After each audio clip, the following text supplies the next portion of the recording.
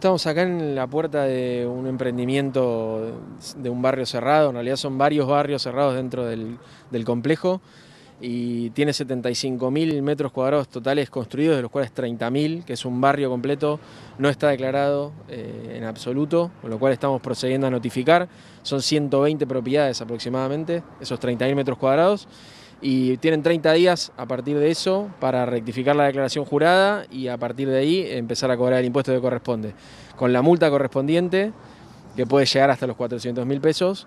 y luego hay que recalcular hacia atrás eh, la deuda que se haya generado desde el momento en el, que, en el que hay una novedad constructiva y no está declarada. En Mar del Plata en, total tenemos detectados unos 310 mil metros cuadrados construidos sin declarar,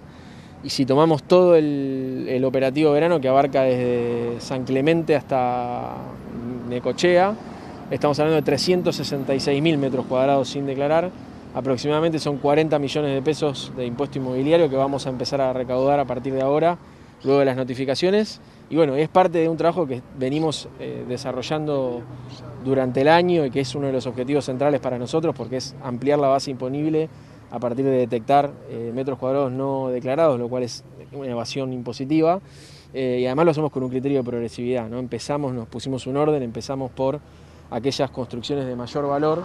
porque es la manera que entendemos nosotros de eh, respetar el espíritu de las leyes impositivas que aprobó la legislatura, donde se busca tener una estructura tributaria progresiva. Más este año, fue un año muy complicado, y de cara al 2021, que es el año de la vacunación y la reconstrucción post pandemia, eh, bueno, poder generar recursos para que el gobierno de la provincia pueda llegar a todos, empezando por los que menos tienen. Ahora puntualmente estamos hablando del operativo verano, por eso puse el foco en, la costa atlántica,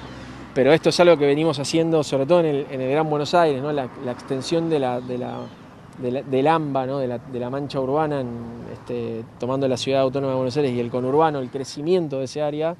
En los últimos 20 años, la mitad del crecimiento de los metros cuadrados que se construyeron son barrios cerrados, o sea que es una problemática estructural, histórica y, secular en la, provincia de Buenos Aires que tenemos que tratar de resolver ordenando el ejercicio del derecho de propiedad y también ordenando desde el punto de vista tributario en el cobro de los impuestos, porque en general la gente que accede a ese tipo de viviendas, como decía antes, tiene un pasar que es superior al del, promedio de los y las bonaerenses, que cumplen con sus impuestos, pagan por los metros declarados construidos que tienen y la verdad es muy injusto que se den estas situaciones donde unos pagan y unos no y encima los que no pagan tienen un mejor pasar económico.